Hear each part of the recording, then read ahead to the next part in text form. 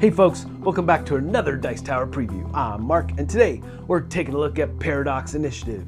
Paradox Initiative is brought to you by Elf Creek Games. It's for 1 to 4 players, ages 10 and up, and games generally run about 30 to 90 minutes. Our newest discovery changes everything. Our Paradox engine lets us manipulate paradox particles, the fundamental building blocks of reality, past, present, and future. None are beyond our grasp, and nobody can stand in our way, except that is, maybe the frauds at that rival Paradox lab down the street. In the Paradox Initiative, you are mad scientists competing to claim strands of space-time from worlds all across the multiverse. On your turn, you will select planets to focus on, then you will shift particles in order to form those strands of space-time. But be careful, every captured strand sends ripples throughout existence. These particles will allow you to capture worlds and reap their advancements. In the end, the player who has collected the most complete worlds and has best met the company's research goals will be hailed as the greatest scientist in the universe. So who of you can most efficiently operate their particle matching paradox engine and collect strands from the different worlds? Join me in the multiverse and let's find out. So, this game may look familiar to you. This is a new version of Paradox Initiative. It's still a game of card drafting uh, resource management, and set collection, but they've made several changes. We're not gonna do a deep dive into all the changes, but some of the things more notably are things like the artwork. They have a number of artists working on all these cards, just simply beautiful.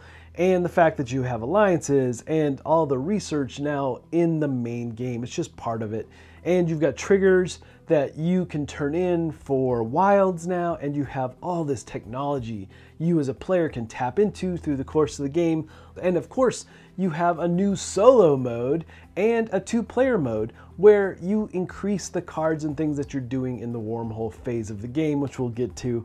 But there's just a lot of really interesting changes that they made as they went through the process of revamping this game. So the main board is the multiverse. There are a number of planets out here and they're all labeled with a letter. Why is that important? Because it corresponds to the cards that you're going to be acquiring, trying to get sets for past, present, and future along your timelines, getting those maximum points at the end of the game. But you have to be aware because there is a glitch in the matrix, so to say. You're moving the glitch across these worlds and they can become fractured, and that will cause you to lose points, lose cards from your sets at the end of the game. Along the edge of the board, you'll find research goals, and through the course of the game, as you acquire cards, you're also trying to get these symbols to fulfill the goals that are set forth, hoping to get more points at the end of the game. In the middle of the board is the anomaly. These are particles that you place out here. These particles are going to be used to create your time strands. We'll talk about those in a minute. And you've got wild particles that potentially you can get with the triggers on your main board. And then there are shields. Yes, shields. There are cards that are going to call for shields in order to complete that row or column that you're trying to do in those time particles and so forth. But we'll get to all that in a minute. And it's just really an interesting aspect and how to get more points and more cards and so forth. So those are some of the main things. And then you have the cards that are going to form the draft. And this is going to be part of the wormhole, which we'll get to. But based on player count, you'll determine how many cards are going to be in play. Same with in your player area. You have your timeline where you'll be placing those past, present, future cards. And that timeline will shift through the course of the game. You also have your technology that you'll be tapping into, which is a really nice aspect to this new version as well. And then most importantly, you have all the particles that you're trying to basically build those time strands out of. Now, you're building a 5 by 5 grid and you're going to set up those particles in the bag and draw them out randomly. Each player will do this in turn to build that grid and you're going to build from basically bottom up uh, and left to right. So what's interesting though is that through the course you're going to be moving these around, you know, kind of have that bejeweled feel to it as you manipulate all these particles. So there are three main phases to every round. You have the wormhole phase, you have the matrix phase, and a cleanup. Now, you're going to have a first player who is the chief scientist. And the way turns work in the wormhole phase is the chief scientist goes and it moves around the table, each player taking one action. The last player then will go again and will move back around to the chief scientist. So you only have three possible actions you can perform in this particular phase. You can draft a card and move it to your timeline. You can flip over or you can draw, I should say, two technology cards and choose one and keep one, flip it over and have it available to use through the course of the game. Lots of different powers giving you all kinds of abilities in this game. Really fantastic, actually. And then you can just simply flip over a trigger. Now, again, these triggers are going to be used in order to give you a wild particle. So you need all three to be active. You'll flip it over and you can potentially use that later in the game to get one of those particles. But these cards are key. They're probably the main thing you're gonna be doing in this phase. I mean, the others are very valuable and you'll need to do them from time to time, but you're trying to get cards where you can get resources to fulfill them and then score them. Now, if you look at the cards, not all of them, but most of them are going to have a number and a color in the top left corner. That will show you what different types of particles you need to put on the card when you get them from creating time strands. And once you fulfill the needs, then you can score the card, put it into your score pile. Now there's some different types of cards here. Obviously you have the main planets, which are the letters out on the board that correspond to your cards, but you have some other cards that are named that are gonna cause you to interact with planets as well as achieve the resources it calls for. Those just means you're going to be putting shields on planets or you're going to cause them to be unfractured. And we'll get to that in a minute. But the thing is that you also have Nexus cards. You'll see a grid that matches your grid and you'll have to put a shield out. Now, once you put a shield on that particle, it can't move or anything, which is in the next phase. But you'll need to complete a time strand using that shield in order to score that card. And then finally, you do have a wild. If you can't complete a set of cards, you do have a parallel universe card. And this just requires two of any resource plus a wild. And once you do that, then it can be used in conjunction with a past present card to complete your set.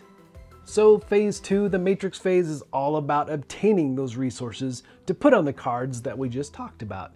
Now you're trying to complete a time strand and you have two actions on this particular phase to move particles around. Now you can move them around inside of your grid or reach out to the anomaly and grab one and swap. So you're always swapping.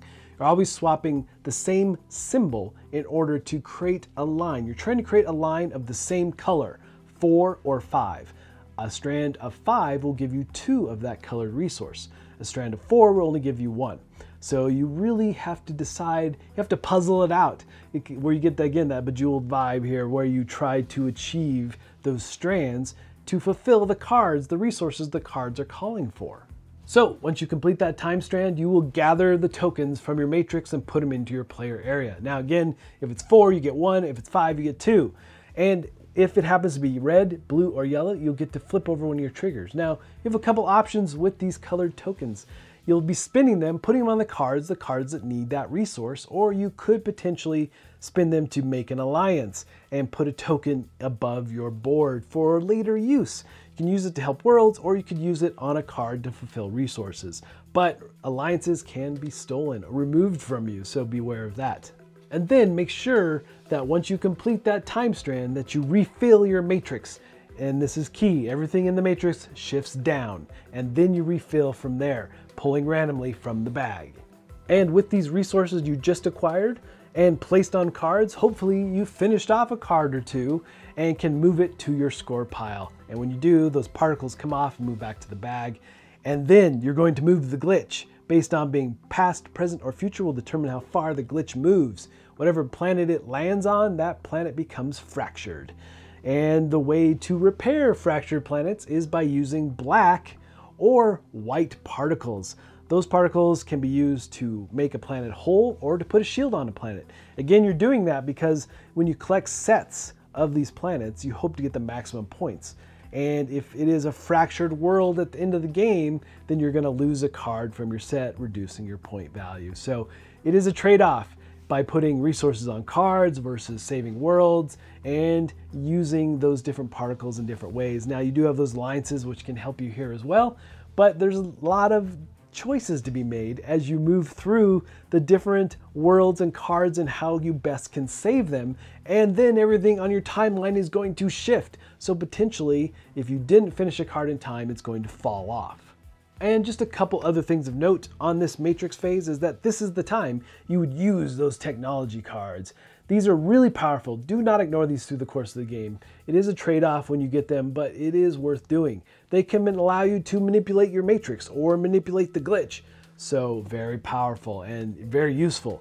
Also, you can flip over your triggers if you have a full set to get one of these wild purple particles that can be used on parallel universe cards or just as a wild to fulfill a card you need to. Also, you can use your alliances to save a world, you know, make it whole or put a shield on. And that's really what you're doing in this matrix phase. And then finally, you move to the cleanup phase once everyone has done that, and you're going to be refilling the timeline cards, getting ready for that next round, and you'll just continue this way, round after round, until you run out of those timeline cards. And then you'll score all your points. Again, based on sets that you've created, will determine how many points you get and all the different types of research goals and things that you acquired with those symbols in your card sets as well. And you hope to be the ultimate mad scientist. All right, folks, just a reminder once again, this has been a Dice Tower paid preview. Everything you've seen here has been in prototype form, so keep a close eye on the campaign for any changes that still may occur. And definitely keep an eye on the campaign for all the new artwork and stuff you're going to be seeing for this game. I mean, this new fresh coat of paint has made this just a beautiful, beautiful game for sure and they've really done some nice things. And it's been a while since I played the original, but I really felt like this game was fresh and new as I played through it. But folks, ultimately, if this looks like something of interest to you, I'm sure they'd appreciate your support. So I think that's it for me, and until next time, we'll see you at the table.